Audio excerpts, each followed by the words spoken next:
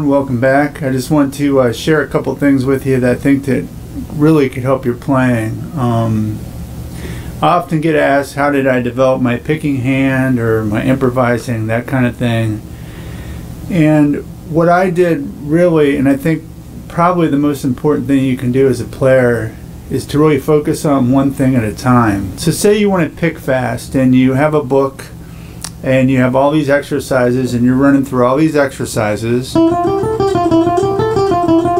And you're just practicing until you're blue in the face but they always stay the same speed. If you practice at the same speed forever you're going to stay at the same speed. You need to feel the motions quicker. So what I would do um, for instance with the picking hand is I would practice feeling the motion fast. So I'd practice trembling the note maybe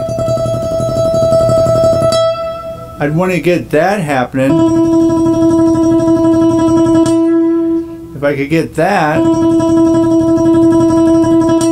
I know that that would be as fast as I'm going to pick. So then if I try to put some notes with that, I knew I had that part, so I'd have to focus on the synchronization and what notes I'm going to do in my left hand. I really recommend just doing one string to start out with. You don't want to make it too complex and worry about having to switch string. You want to just feel the synchronization, the speed, the fluidity on one string. So I might just practice a pattern like where I might just go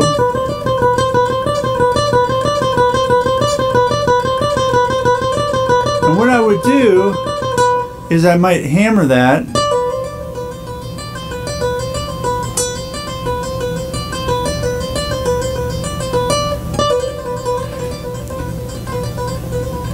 I would try to increase the speed and feel the motion. Then I would just try to sync it up, but I would do it fast. I wouldn't do slow and build up. I would kind of try to clean it up as I played it. I might start out just for a little bit, you know, and I would just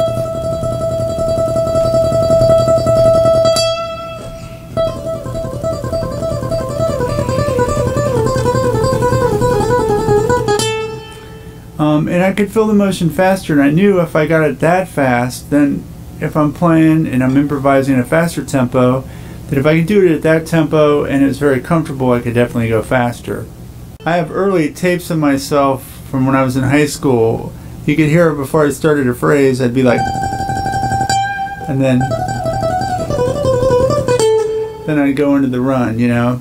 And I worked a lot on the left hand separately, whatever it was I was practicing to get the um,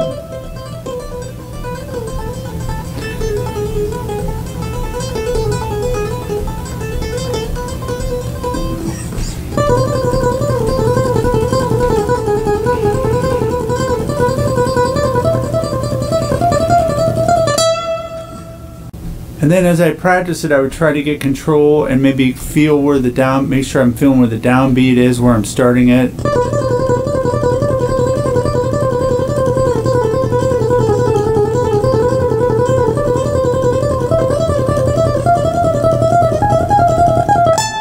Taking it through whatever scale I was playing.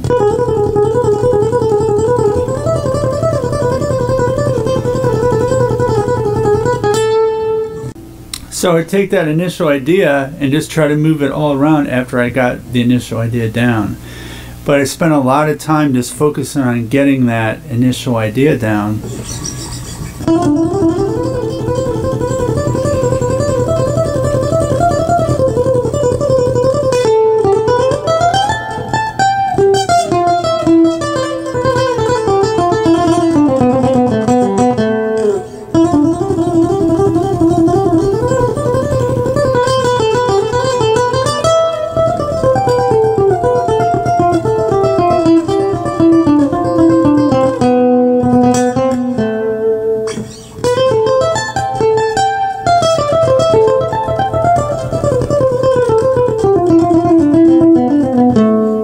And one important thing is that you do not want to do is is just do it a little bit and, and go on. You really want to focus on it, what your goal is.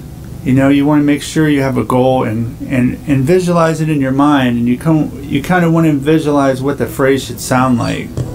Um,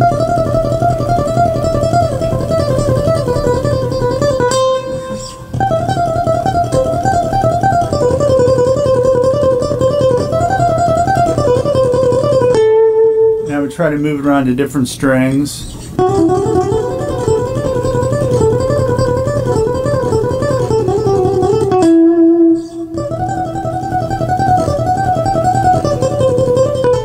I would try I would try with different patterns, different scale shapes, just trying different licks.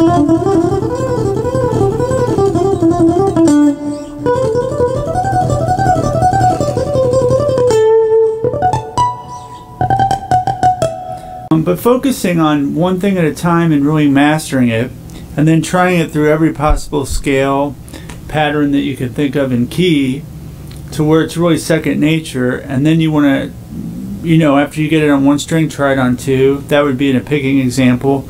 You could do it with improvising. Um, you could just take one key and really work that key all over the next. So say you're A minor, fo focus on playing A minor. Maybe start out at the fifth position. And just put down a rhythm and improvise and then branch out to some shapes that you feel comfortable with like maybe the 12th fret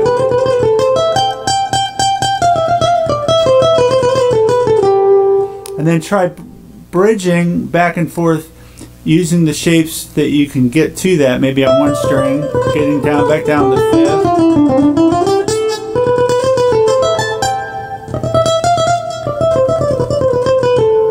But that's kind of how I did it. And then I would eventually learn all the shapes.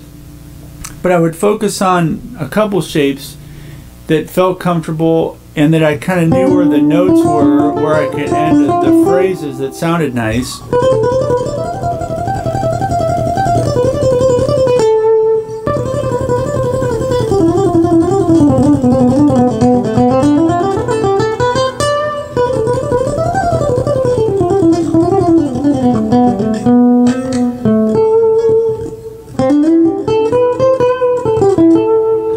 I did that same thing with the pentatonic scale.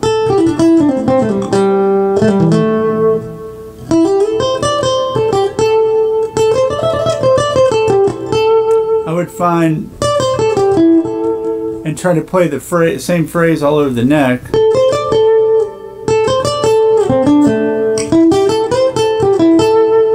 So, just a couple things to keep in mind. Focus on what you want to do, what it is you want to accomplish.